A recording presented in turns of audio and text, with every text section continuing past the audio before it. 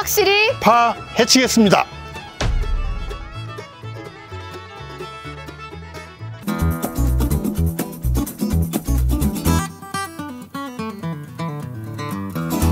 안녕하세요. 메디치 미디어 시청자 여러분. 8월 10일 시사노그를 시작하겠습니다. 자, 두 번째 코로나를 싹 물리치고 나오셨습니다. 매구리님. 안녕하세요. 안녕하세요. 괜찮으십니까? 예, 뭐 좋고요. 회사 안 나오고 집에서 놀면 뭐든 좋죠, 뭐. 네. 아니 지금 코로나가 다시 유행이라는데 예. 아무 통계도 안 잡히고 예. 시설에 계시는 어르신들 걱정이라고 지난주에 김선민 의원님 나와서 아주 걱정 크게 하고 가셨어요. 그러니까 저 같은 사람이야 그렇다 쳐도 시설에 계신 분들이나 네. 어르신들은 정말 좀 정밀하게 봐야 될 것 같아요. 음. 네, 알겠습니다. 자, 바로 시작하겠습니다. 와, 시청자 댓글의 썸네일 제가 저거 우수작으로 뽑고 싶어요. 드디어 사람이 죽어 나가기 시작했다. 확 와닿습니다. 매구리님, 오늘 다룰 이슈요. 예, 예, 예. 권익위 이제 성함도 나오고 있습니다. 김상현 국장 네. 극단적 선택이 일파만파로 커지고 있습니다. 어, 첫째는 그 도대체 명품백이 없었으면 김 국장의 죽음이 있었을까? 음. 이 점에서 그 김건희 씨에 대한 국민적 공분이 좀 끌어넘치고 있고요. 예, 예. 두 번째는 그 공직 사회가 굉장히 지금 카오스 상태입니다. 그렇죠. 예, 예. 아, 카오스라고 하면 유시간 얘기고 아. 지금 그러니까 혼란과 혼돈인데 예, 예. 그 아니 자기 업무에 성실했는데 결국은 부당한 압박을 받고 그리고 자살까지 해야 되는 이런 상황. 어, 아니 저는 그래서 사실은 최혜병 사건으로 지금 수사받고 있는 예. 우리 중령분도 제가 예. 사실은 걱정 많이 해드리고 주변에서 관심 가져야 된다. 그 혼자 버티기가 얼마나 어려우시겠어요. 그분도 그 아마 트라우마도 있을 거고 정신과 치료도 받으셔야 될 거예요. 예. 겉으로는 굉장히 담대해 보이지만 음. 이런 조사나 이런 환경에서 강할 수 있는 사람 별로 없습니다. 예, 예. 알겠습니다. 지금 저희가 그래서요, 음, 사실은 전직 음. 예, 권익 위원장님, 예, 예. 전연희 위원장님을 오늘 모시려고 했는데 지금 아시다시피 민주당의 최고위 선거로 너무너무 바쁘고 예, 예. 예, 그래서 이따가 5분에 10시 5분에 전화 연결을 하기로 했습니다. 의원님 대기하신 걸로 알고 있는데 한번 걸어 볼까요? 걸어볼까요? 네. 뭐 되면 바로 하죠. 네, 뭐. 네. 예. 자, 전직 권익위원장님, 전현희 의원님 전화 연결 중입니다. 시사너구리 별걸 다 해요.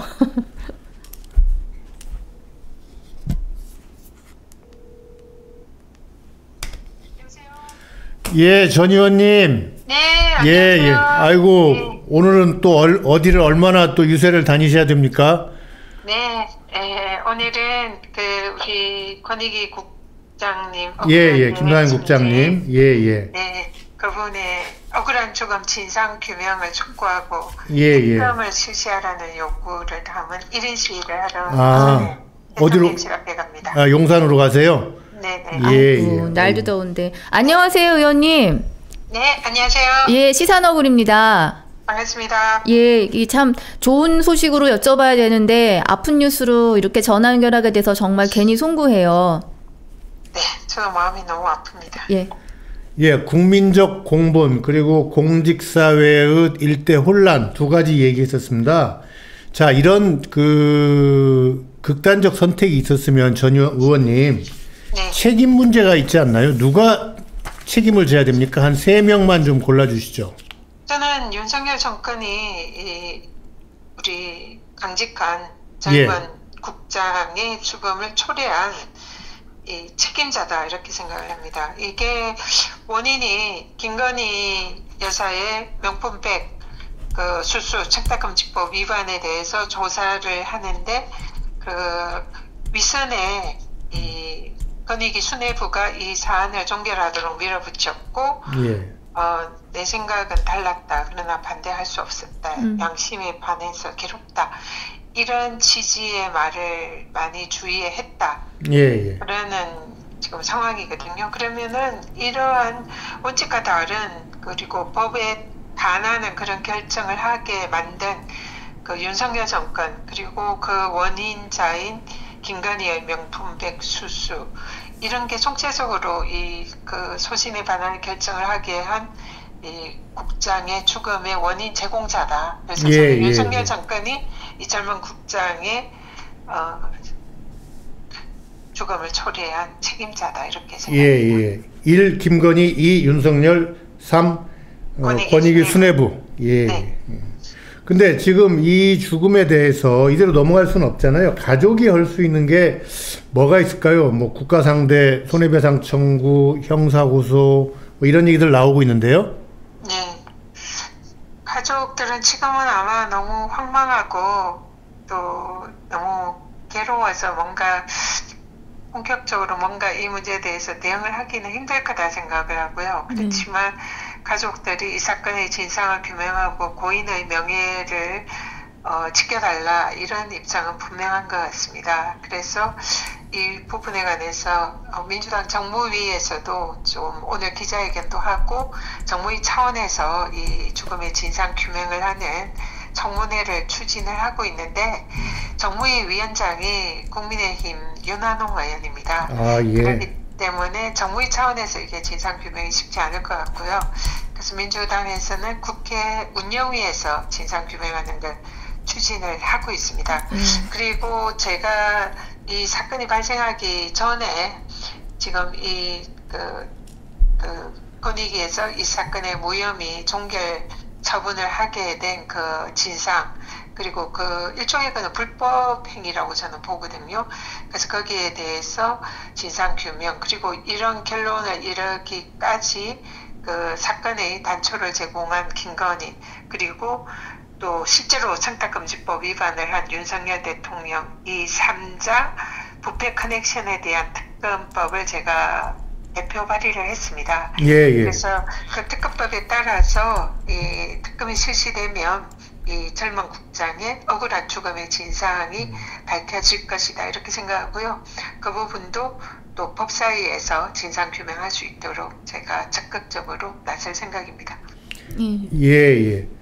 그뭐 예. 질문하실까? 어, 의원님, 네. 어쨌든 이게 사람에 관한 거라 저 음, 김 국장님 어떤 분이셨는지 혹시 의원님 위원장님 재직 시절에 어, 네. 에피소드나 혹시 관계 측면에서 근데 목소리가 떨리셔서 제가 여쭤보기가 조금 죄송스러워요. 지금 울고 계세요? 아이고. 네, 이 우리 국장님만 생각하면 가슴이 먹먹하고 진짜 짤로 눈물이 나는데요.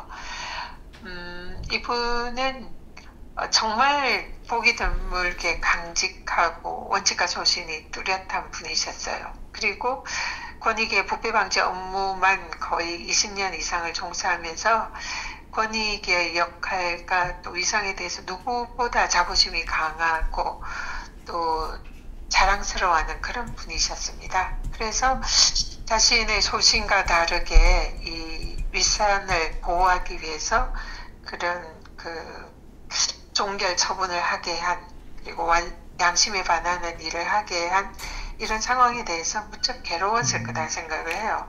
그리고 이분이 건익에 재직을 하면서 이 공직자의 반부패와 청렴을 주제로 박사 학위 논문을 썼고요. 박사가 됐습니다. 음. 그래서 저한테 제가 권익위원장 할 때 그 논문에 관해서 뭐 저한테 의견도 많이 구하면서 박사가 되고 논문이 통과되면 그걸 제일 먼저 저한테 갖고 와서 사인을 해서 드리고 싶다 이런 얘기를 굉장히 자주 했었거든요. 음. 그래서 그러니까 말씀으로 들어보면 네. 공적으로 위원장과 국장급 공무원의 관계도 있지만 철학과 신념이 비슷한 사람끼리 어떤 연대 같은 것도 좀 있었네요. 그 논문 같은데 이렇게 의견도 구하고 또 논문 통과되면 데- 가지고 와서 사인도 받고 싶다. 개인적으로 제가 권익위 내에서 가장 존경하고 음. 또 아끼던 그런 직원이었습니다. 참뭐 말씀을 이어가기가 참 너무 힘든데요. 그래도 의원님은 이제 싸우셔야 돼요. 너무 목소리가 힘이 없으세요. 네, 기운 내시고요. 그래서 제가 싸울 생각입니다. 이 권익위 국장의 억울한 죽음의 진상 규명 그냥 허투루 흘러가게 하지 않을 거고요. 반드시 책임질 자들은 책임지게 네. 예, 하겠습니다. 그래서 오늘 오후 2시에 그 용산 대통령실 앞에 가서 예. 진상 규명하고 음. 책임 있는 자들의 사죄를 요구하는 그런 이런 시위를 할 예정입니다. 음. 오늘 오후 2시에 용산 금방 지나가시는 분들은 네, 네. 혹시 전현희 의원 그 1인 시위 하는 거 보면 자동차 클락션이라도 좀 올려주고 호응 좀 해주세요. 예. 공직사회도 굉장히 이게 음, 조용하게 파문이 엄청나게 일 것 같아요. 드러내놓고 하지는 않지만 우리 네. 의원님 이 부분에 대해서도 한 말씀 해주실 게 있을 것 같은데요. 지금 대한민국 공직사회가 꽁꽁 얼어붙었다 해도 과언이 아니고요. 지금 이런 그 정무직들을 통해서 대통령실이 사실상 공직 사회를 압박하고 그 청렴하고 강직한 공직자들이 소신과 다른 그런 일을 할 수 있도록 하도록 사실상 강요하는 그런 공포 분위기가 조성되어 있다 생각합니다. 권익위뿐만 아니라 뭐 방통이라든지 예. 뭐 행안부라든지 뭐 경찰, 검찰, 사회 곳곳에 감사원 이런 기관들이 그런 정권의 일종의 행동대장 역할을 그 고위직 정무직들을 통해서 공직자들을 그렇게 만드는 지금 그런 음. 상황이고 그 상황에 대해서 많은 공직자들이 생각이 달라도 그것을 표현하지 못하고 그냥 가슴앓이 하고 있는 이런 공직자들이 많을 거다 생각을 해요. 음. 그래서 이번에 권익위 국장이 그런 상황에서 가장 상징적인 희생자가 되었다. 이런 생각이고요. 아마 비슷한 지금 상황에 처해 있는 분들이 많을 거다 생각합니다. 그래서 그 모든 공직자들 힘내시라고 정말 응원드리고 싶고요. 제가 청문회에서 박정훈 대령에게 1승 인사를 경례를 드렸는데 그런 마음이었습니다. 음. 예. 자신의 소신을 위해서 정의를 지키기 위해서 그렇게 고군분투하고 탄압을 받는 정의로운 우리 공직자 박정훈 대령에게 국민과 또 우리 민주당 또 제가 함께하고 있으니까 힘내시라. 반드시 정의가 이기는 날이 올 거다. 그래서 힘내시라. 일승 인사를 경례를 드렸는데요. 예, 예. 우리 대한민국의 모든 공무원들 어, 초신을 지키고 정의를 지키기 위한 그런 싸움과 내적 갈등을 하시는 모든 공무원들 힘내시라고 예. 똑같이 필승 경례를 지금 올립니다. 경례 붙이시는 게 눈에 보여요, 제 눈에는. 음. 그 고통에 절대적인 기준을 둘 수는 없지만 저는 사실 김 국장님 죽음 뉴스를 보면서 우리 전현희 의원님도 권익위원장으로 계실 때 적어도 이보다 더 약하진 않았을 것이다 고통이. 응? 근데 살아 돌아오신 거죠. 네. 제가 권익위원장으로 있을 때 제가 당했던 이 윤석열 정권에 무도하고 잔인했던 그 탄압 과정에서 제가 느낀 것이 어, 죽음과 같은 공포로 제가 당시에 표현을 했습니다. 예. 정말 무서웠고 두렵고 이러다 치도새도 모르게 죽임을 당하거나 아니면 진짜 제가 죽거나 뭐 이런 일이 있을 수도 있겠다 그런 생각이 늘 들 정도로 고통스러웠는데요. 예. 예, 그래도 아이고. 불의에 싸우고 무릎 꿇지 않겠다 그 마음으로 버텼습니다. 예, 예. 우리 최고위원 그래도 마, 마무리니까 예, 인사하시고 예, 예. 오늘 예. 아, 경선 지금 그 갈수록 치열해지고 있어요. 4등, 5등. 어제는 5등으로 가셨던데 괜찮으세요? 이제 서울만 남았는데.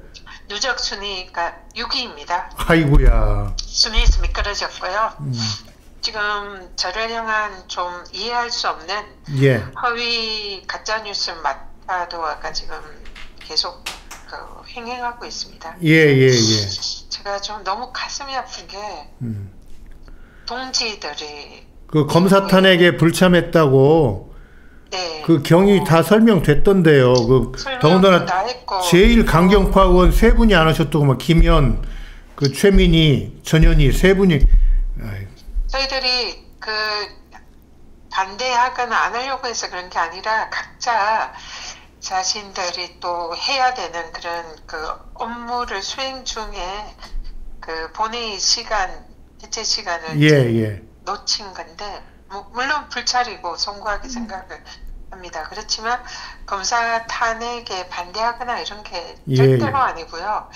오히려 본회의에서 그 표결을 한 것은 법사위에 보내서 검사 탄핵을 이제 절차를 밟는데 찬반 의사를 표명을 한 거거든요. 예, 예, 예. 그래서 지금 본회의에서 그 표결된 그 검사 탄핵 사안이 법사위로 넘어와서 어, 수요일 날그 청문회가 진행이 됩니다. 예. 그래서 제가 직접 그 검사 탄핵을 법사위 청문회에서 하는 당사자거든요. 그렇기 때문에 제가 청문회, 법사위 청문회에서 검사 탄핵안에 대해서 누구보다 찬성하고 제가 직접 그 탄핵안을 통과시킬 당사자이기 때문에 예, 예. 제가 검사 탄핵을 반대하거나 뭐이 렇게 아, 그러니까 앞뒤 정황을 보니까 많이 되지 음, 않습니다. 쉽게 앞뒤 정황을 보니까 쉽게 얘기해서 3교시 수업 끝나고 그냥 4교시 수업으로 달려간 게 아니라 3교시 수업을 너무 열심히 해 가지고 그 저 김현 최민희 의원은 저 과방위에서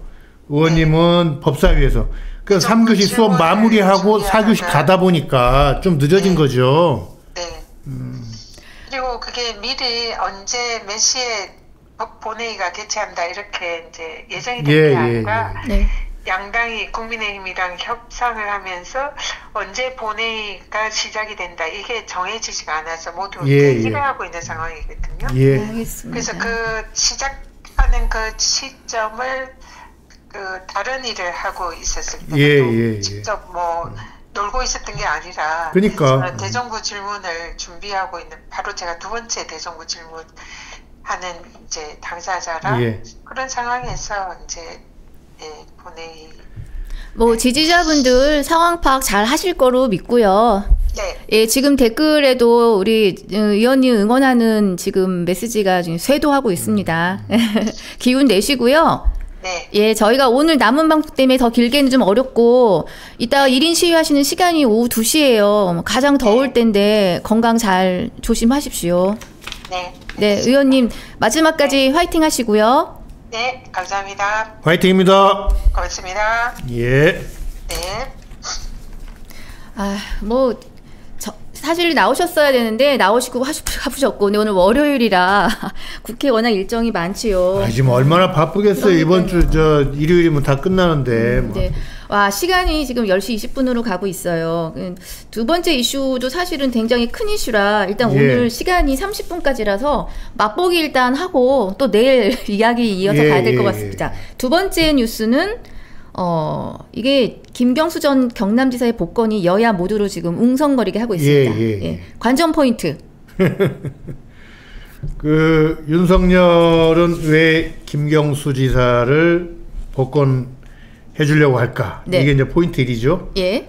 제가 보는 견지에서는 야당을 향해서 수류탄을 던졌는데 네. 그쪽에 떨어지기 전에 네.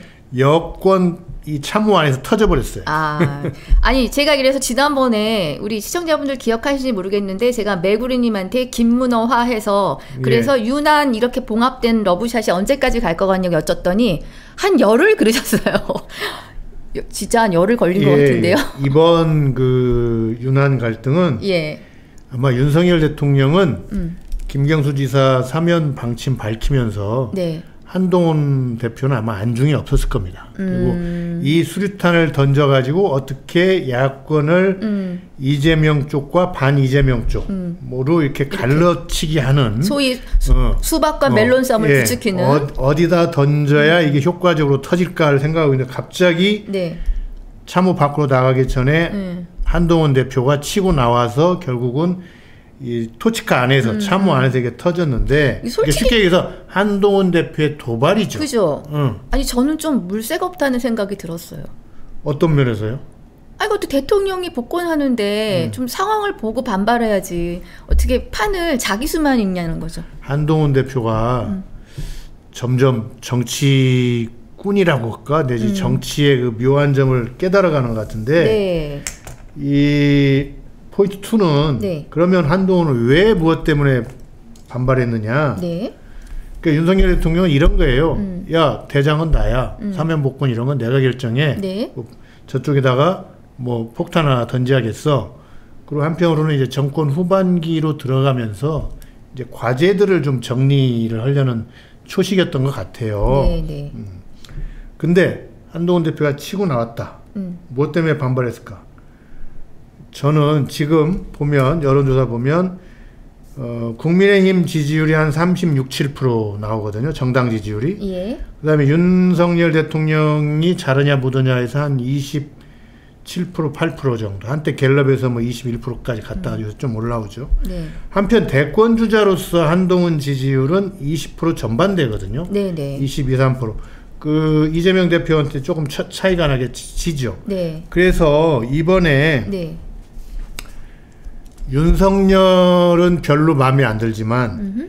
보수 야당 성향을 분명히 갖고 있는 유권자층 그러니까 정당 지지율상의 36% 7%. 음. 이 사람들의 지지를 좀 더 키우기 위해서 네. 키우기 위해서 윤석열 대통령의 김경수 지사 사면에 반대하고 나섰다. 그러니까 복권에 어, 복권에 복권에 왜냐하면 뭐 보수 성향 유권자들은 당연히 김경수 지사 복권에 반대하죠. 음. 뭐 그런 그런 사람 왜 줘? 뭐 이런 심리인데 요거에 대표자로서 자기를 좀 만들어 가려고. 근데 먹힐까요?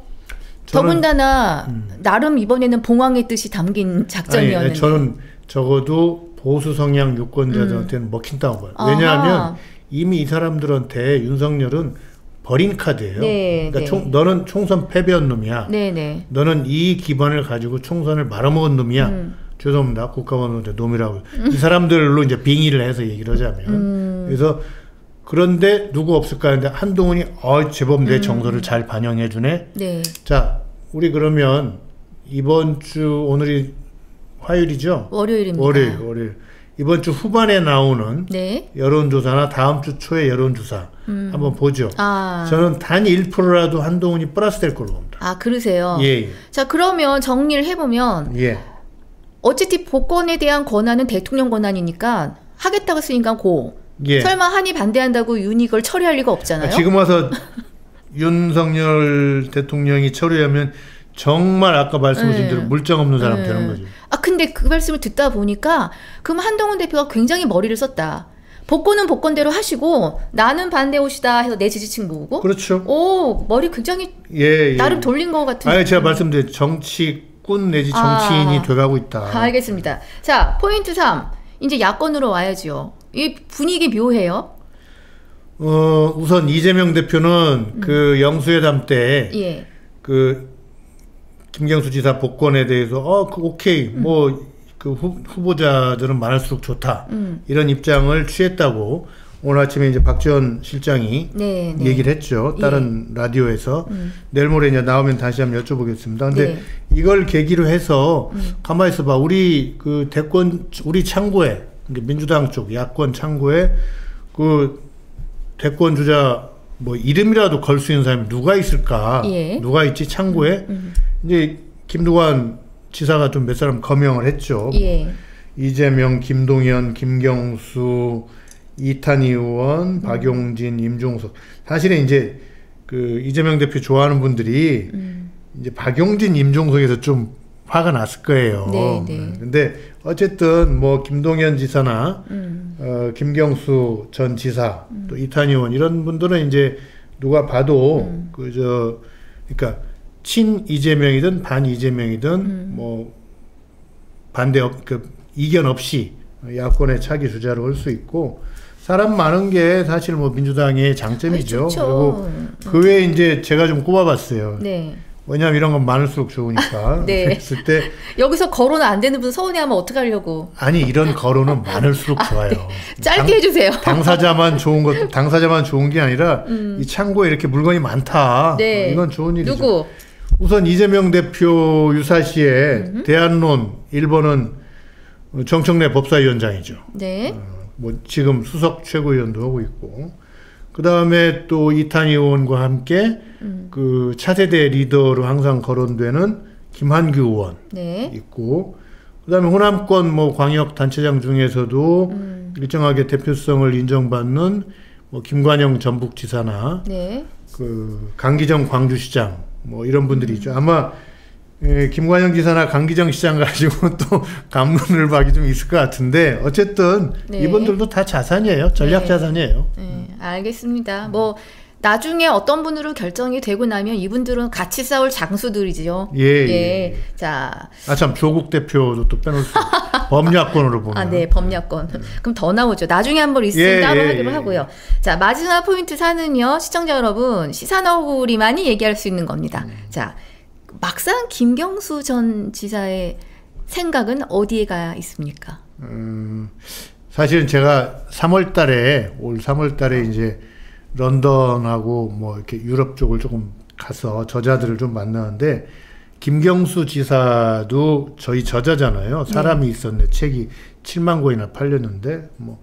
그래서 이제 이런저런 일이 있어가지고 김경수 지사하고 그 런던에서 뭐몇 차례 이렇게 밥도 먹고 네. 어, 또 운동도 했습니다. 근데 운동이란 건 골프가 아니고 음. 그 켄싱턴 공원이라고 있어요. 그러니까 김경수 지사 사는 데가 이- 런던에 있을 때 살던 네. 데가 이제 서울로 치면은 독립문계예요. 독립문계. 거기 이제 큰 공원이 있고 네. 그 공원을 같이 걸으면서 이런저런 얘기도 했죠. 음, 근데 김 지사가 그때 그런 얘기를 하더라고요. 음, 우리가 정권을 세 번 잡았는데 음, 뭐 네 번 잡는다고 한들 준비 없이 잡으면 그게 무슨 의미가 있겠느냐. 음. 그러니까 김대중, 노무현, 문재인 세 번 집권하고 이제 네 번째 야당 입장에서 네 번째 집권을 보고 있잖아요. 근데 예.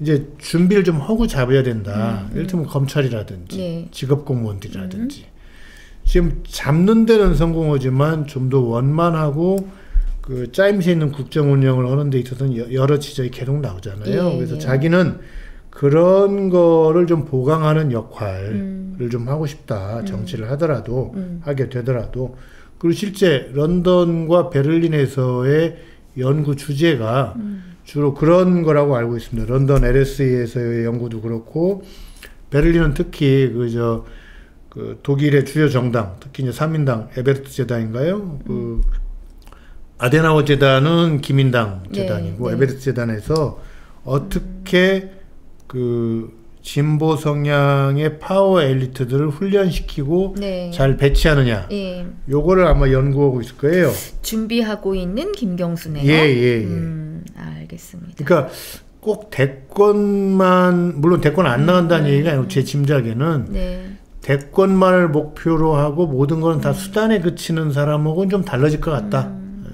음, 알겠습니다. 자, 이쪽의 내용을 노리고 에, 뭐 예, 수류탄을 예. 던졌다고 지금 어, 우리 매구리님께서는 분석하셨고, 자 예. 이쪽에서는 내용이 날지 아니면 화목하게 앞으로 나아갈지는 좀 보겠습니다. 자, 시간이 뭐 27분이네요. 그래서 오늘도 어, 이슈를 잘 파주셨습니다, 매구리님. 예, 아, 감사합니다. 생각 하고 정리하죠. 생각. 음. 어, 사행시를 슬픈 사행시를 지어볼까 했는데 네. 이거죠. 명품백 없었으면 김국장 죽음 있었을까? 어, 이참 인과관계잖아요. 그럼요. 예.